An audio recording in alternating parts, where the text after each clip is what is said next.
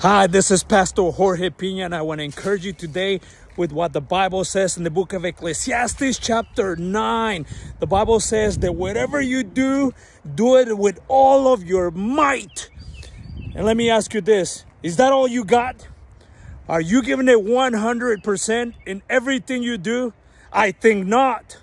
Well, let me tell you this I want to encourage you that if you think you have reached your full, pot- full potential, you're fooling yourself.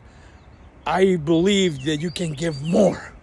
I believe that inside of you there's more. Why? Because if you're a Christian, you have the Holy Ghost inside of you, and you could do great and mighty things because of the God that lives inside of you. The Holy Spirit lives in you, and the same Holy Spirit that the disciples had to do great and mighty miracles lives and dwells inside of you. So I believe you could give more. So ask yourself this question Is that all I got? Is that all I got? I think not. I think you could give more.